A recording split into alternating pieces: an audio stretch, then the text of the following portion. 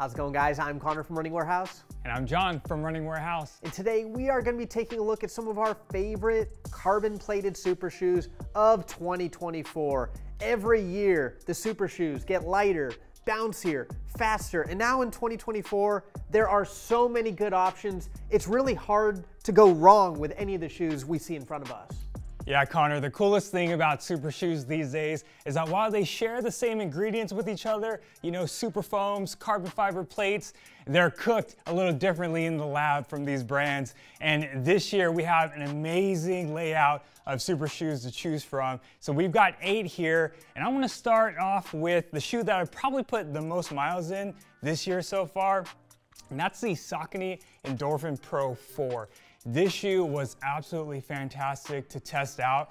What I really love about it is its blend of comfort and speed. It's got that tried and true Power Run PB midsole foam with the addition of the Power Run HG layer at the top that gives it a little bit more responsiveness, a little bit more explosiveness in the toe off. You've got that nice carbon fiber plate that really propels you forward one of the highlights for me has been the upper. It's really breathable. It fits like a glove. It's got a really nice, comfortable tongue, and it's a shoe that I just loved uh, running any of my miles in, whether it's easier efforts or my marathon paced efforts. It's a shoe that just really came through from the beginning to the end.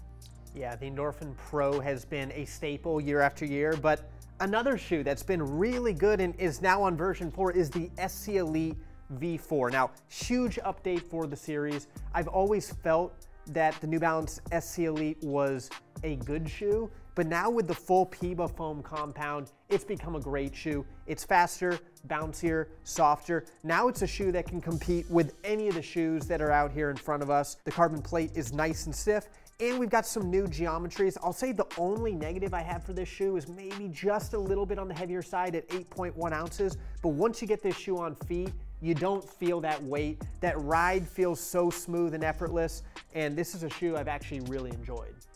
You know, Connor, I'll, I'll meet your 8.1 ounces and I'll raise you nine ounces with the Hoka Cielo X1. So I'm half-heartedly kidding because I did really love running in this shoe. That super high stack of PEBA was wonderfully protective and efficient underfoot. So we measured here in-house at a whopping 46 millimeters in the heel. Somehow it's still World Athletics legal, uh, but for us, it really measured in that max max stack category. And because of that, it really did make all my runs feel protective. It is a really efficient ride with this really cool banana-like geometry.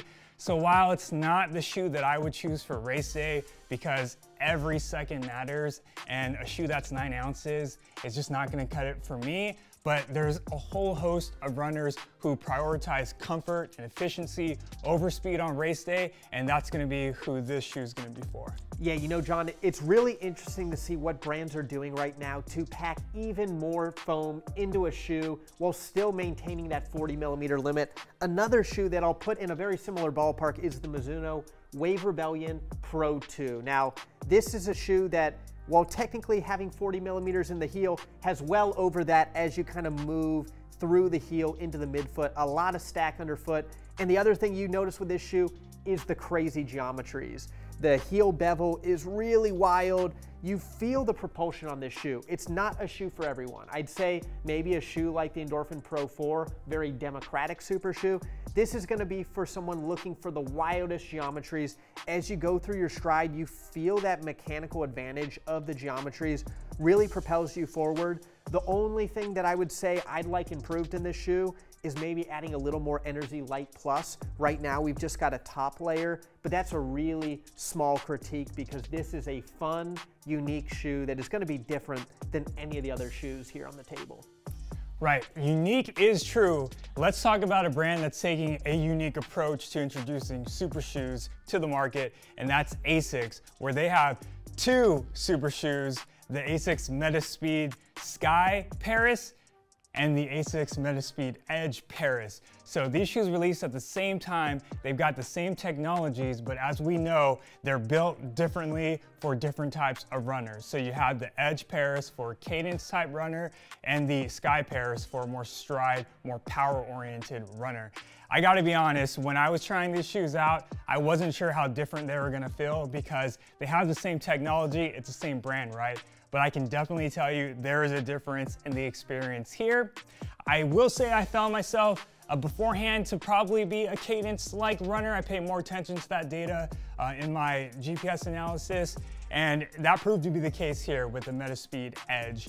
Um, I really liked how that plate is resting a little bit lower. So you've got that extra stack of FlyteFoam Turbo Plus in the forefoot. Really felt that bounciness, that propulsion, and that really helped me through my gait cycle. I'm still early on in these shoes. They do feel really aggressive, so I'll need to put in more miles to really tell how it's gonna work for me, but I can assure everyone that this is a fast shoe, and at six and a half ounces, we're talking lightweight as competitive as any of these shoes on the table.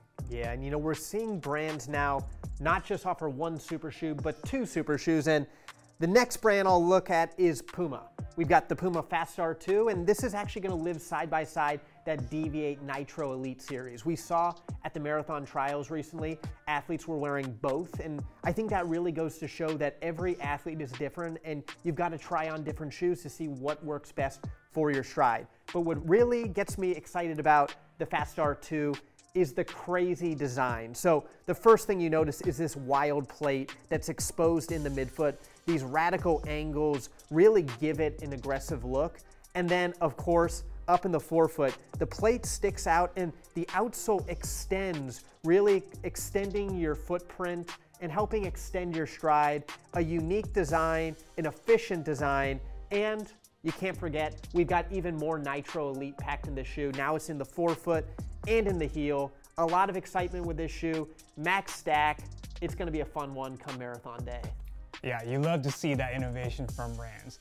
But I think it's time for us to talk about what I think we would both agree is the top of the class of super shoes. They say cream rises to the top, Connor. and In this case, it flies. And that's the Nike Alphafly 3.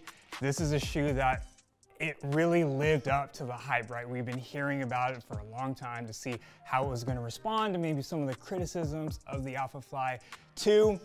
And all of those concerns were alleviated by how incredibly uh, explosive this shoe feels, how comfort oriented it is. It can work for just about any runner, which is insane to think about your world-class athletes who are breaking records versus runners like myself who are chasing uh, BQs. So what I really loved about this shoe is this ZoomX foam in the midsole, accompanied with that carbon fiber plate for propulsion and the unsung hero, the Air Zoom units. There is room in the Super Shoe space for Air Zoom units, and I really loved how protective it felt while also being propulsive. This is definitely the shoe that I plan on lacing up when I toe the line at the Chicago Marathon later this year.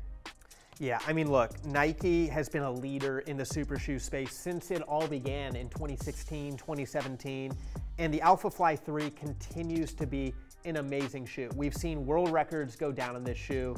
We've seen a lot of athletes start to adopt this shoe. I think before there was a lot more Vaporfly, Alphafly trade-offs. Now I'm starting to see even more athletes wear this shoe. I've even found myself gravitating towards the Alphafly 3. I used to be a Vaporfly guy, but now the Alphafly is taking a lot of the elements of some of the earlier Vaporflies mixed with the earlier Alphaflies, taking all the best elements to create the perfect shoe for me. I think Nike continues to lead the market in this space, but there are so many great options. Really, you got to try them on for yourself, test them out, but I don't think you can go wrong with any of the eight shoes we have out here in front of us. If you're looking to try out a super shoe for yourself, you can find them here at Running Warehouse.